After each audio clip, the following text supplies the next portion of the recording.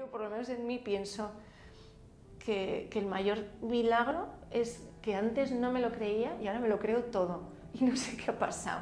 O sea, yo antes era atea furibunda y ahora veo una imagen de Sagrado Corazón de Jesús que son una horterada de imágenes de, de pómulos rosas y, y, tirabuzones, muchas de ellas. Y, o sea, me muero de amor, no sé. Te digo, pero Señor, ¿qué me has hecho, tío? Yo no, esto no lo he decidido yo. No recuerdo fe en mi casa, no me hablaban de Dios, no íbamos a misa, nada. Eh, sin embargo, sí que fui a un colegio de monjas de pequeña, eh, pero debía ser algo así porque por lo visto el colegio público que me tocaba debía estar un poco cochambre, o sea, tampoco era una razón muy sobrenatural, no sé. Eh, el caso es que en el colegio de monjas, bueno, pues allí sí que me hablaban de Jesús, pero aquello me sonaba, no sé, a caperucita roja. Una vez en clase nos preguntan por la Virgen María, o sea, nos preguntaron eh, teníamos que decir cada una de las 40 que éramos en clase o así, qué era la Virgen María para nosotros. Y cuando me toca a mí, eh, María, ¿y qué es para ti la Virgen? Y digo, nada. Me quedé, o sea, me salió lo, eso, lo más sincero, lo más, nada, así sin pensar es lo que me salía. Las de clase, tal, oh, ¿qué has dicho? y tal, pero es que era nada. O sea, la fe era nada, Dios era nada y la Virgen, pues nada también.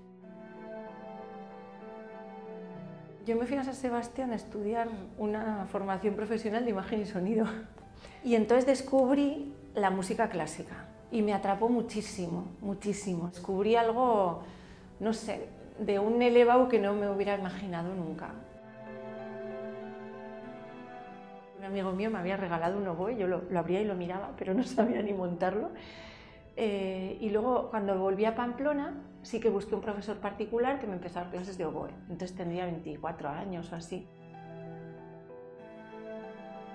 Lo de la música me atrapó muchísimo, no podía parar. Fui al conservatorio, luego eh, finalmente hice también el superior. Y estando en el penúltimo año del superior, conozco a otro profesor. Es el profesor que ese año me dio música de cámara, no era profesor de oboe este conocí en este profesor una persona intelectualmente muy potente, como músico, como, eh, pero también, o sea, en cualquier cosa de la que él hablara, digamos que había pensado mucho más de lo que la gente acostumbra a pensar. Entonces me pareció muy interesante. Me hablaba también de un grupo de amigos, eh, muchos profesores de conservatorio, algunos los conocía, y con los que pues de vez en cuando eso pues ellos quedaban y tal, pero a veces decía, sí, el otro día con, con fulanito y tal estábamos cenando y hablamos de tal cosa. yo, o sea, hay gente que habla de estas cosas. Entonces me pareció como muy interesante y, y quise conocerles más. Resulta que aquel día en esa cena esta gente tan reflexiva e interesante se ponen a hablar de Dios. Que, a ver, yo era atea, pero de ese tipo de ateísmo, ¿sabes? Lo de André Frossard, lo del ateo idiota, el ateo que todo le parece natural pero no se ha pasado a pensar nunca. A mí, no, había necesitado reflexionar sobre mi ateísmo, Dios no existía y punto. Entonces en aquella cena era pues frente al orden del universo y los átomos y tal y cual y la manzana que siempre cae, pues yo era lo de ya lo descubrirá la ciencia todo el rato, ya lo descubrirá la ciencia, ya lo des... Entonces claro, al cabo de un rato de humillación absoluta porque no tenía yo nivel de argumentos en contra, pues me enfadé, tuve así un arrebato de esos horribles, entonces me enfadé, me levanté la mesa y me fui dando un portazo a aquella casa. En cuanto llegué a la calle me di cuenta de que había montado un numerito y, escogí el móvil y le escribí a mi profesor, dije, mm, perdona, he perdido los papeles y tal. Y entonces él me contesta con un mensaje que me dejó como así en mitad de la calle, que dice, no te preocupes, todos nos asomamos al mismo abismo. Vale, será que me perdona, pero no entiendo esto del abismo, ¿no? Dios a mí me ha cuidado mucho, las que me han ido siempre las cosas muy bien en, en, muchas cosas, ¿no? Pero a pesar de que he tenido muy pronto trabajo fijo, he estudiado música, que es lo que quería, o sea, he hecho casi lo que me ha dado la gana, lo que, lo que he querido en cada momento, pero eh, tengo como un carácter eso, quejica, inconformista. Me daba cuenta a la vez de, de, mi vida privilegiada, decir, jolín, o sea, trabajo, tengo un piso, hago lo que quiero, estudio música, voy a tocar aquí allá, vacaciones, yo qué sé, y a la vez como, qué mierda, el mundo, o sea, también muy, muy quejica. Entonces esto me daba mucha rabia de mí, eh, y entonces me cogí un paquete de post-its de estos amarillos y me ponía, soy afortunada. Y entonces me pegaba uno en la puerta del frigo. Claro, yo así me acordaré cuando abra el frigo y veo que tengo comida, pues qué afortunada soy. Cuando no sé, me los iba pegando por ahí en el espejo, cuando te mires, jolín, estoy sana y tal, pues soy afortunada, ¿no?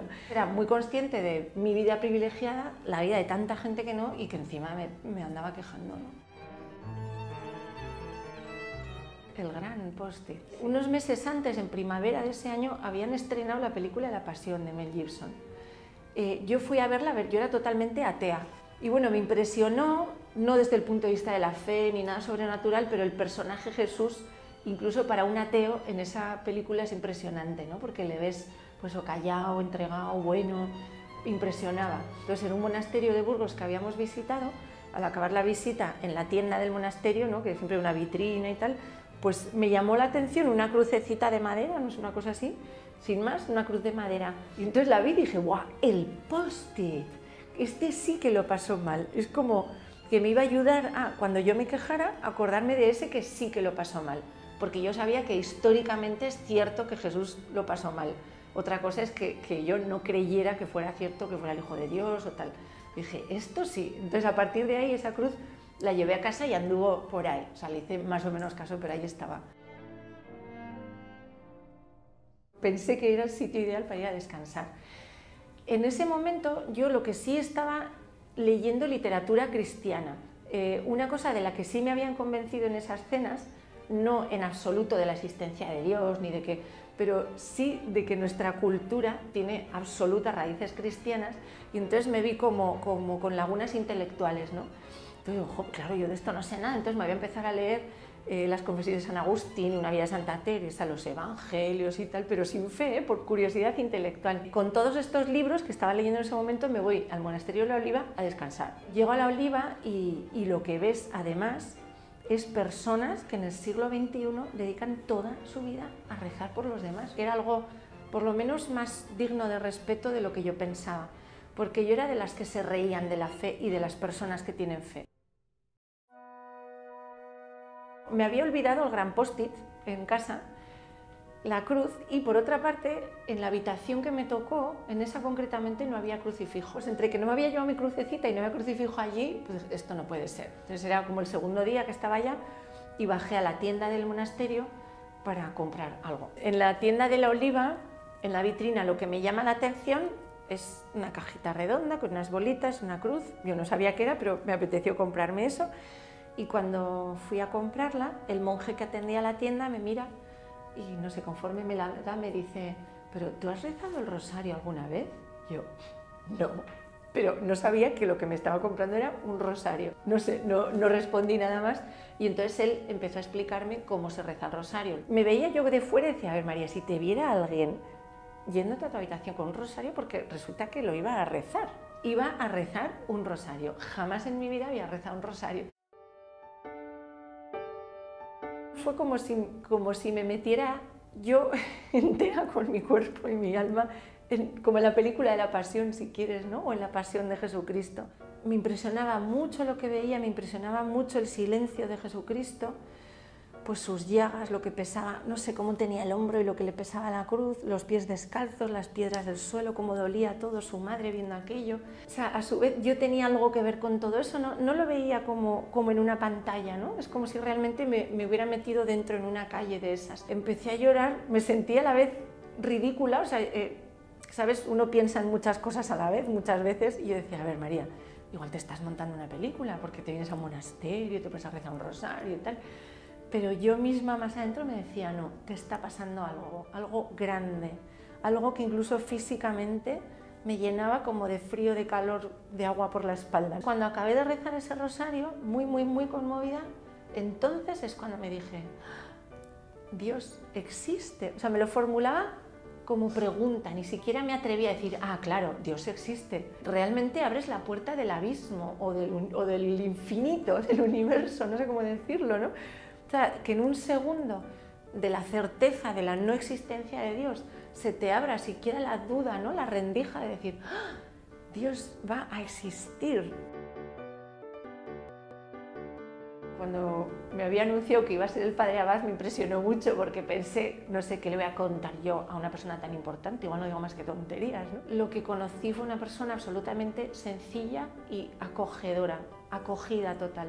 No me preguntó en ningún momento, no sé, por mis pecados, qué ha sido tu vida, no, fue solo acogida. María, aquí estoy, todo lo que quieras saber. Si no sabes qué leer, no sabes con quién hablar, a quién preguntar, ven lo que quieras.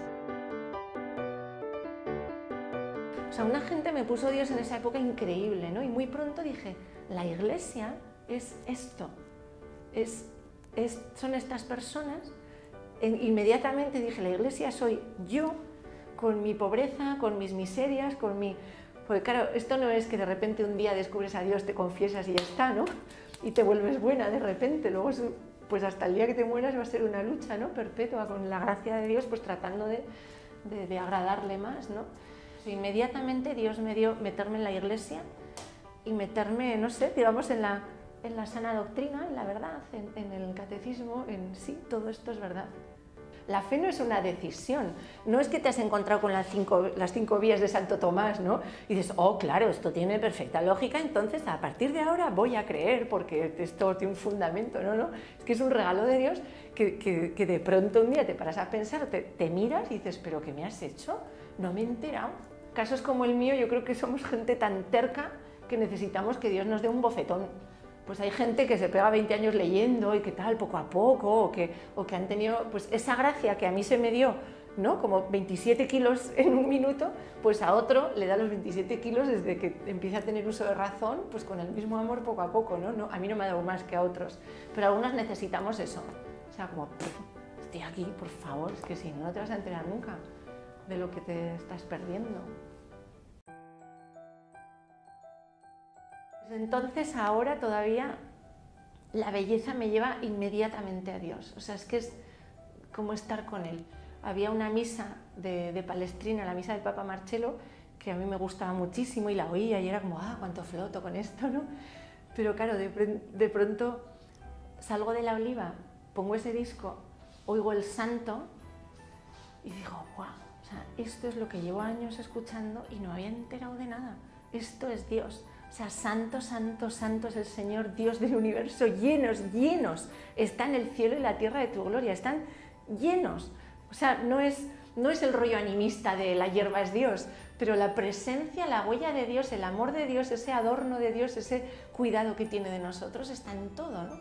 Entonces, en, la música fue especialmente brutal, no, me he enterado de nada todos estos años, ahí santus, santus, y no, no sabía qué decía, ¿no? ¡Qué pasada! Y no me había enterado de nada. ¿Cómo puedes estar como creyendo que eres súper sensible y entendido de no sé qué y estás en la puerta de lo más grande? Me sucede que un día de una de tantas cenas de filósofos, pues este profesor que, pues que me había llevado de algún modo a la fe, ¿no? Pues un día de pronto me pareció guapo, el gusanillo ese, ¿no? De, ¡ay, qué mágico! Entonces empezamos a salir en el San Fermín siguiente. Y bueno, a tener un, un noviazgo, que eso no sé si no, no, da para tanto, pero de los de como Dios manda. O sea, después de una vida muy larga y muy de otra manera para los dos, pues los dos en la fe, los dos convertidos, los dos convencidos de que lo que propone la Iglesia es lo que Dios quiere y la voluntad de Dios y nuestro bien son lo mismo, con lo cual es lo que te va a dar plenitud realmente, pues quisimos tener un noviazgo, eso, pues sin, sin tener relaciones. Y luego nos casamos eh, al año siguiente, en, en marzo, un 29 de marzo, tenemos tres niños ahora y y bueno, pues ahora estoy en la fe como todo el mundo, o sea, tampoco es que yo vaya en una nube y los demás no, es tampoco eso.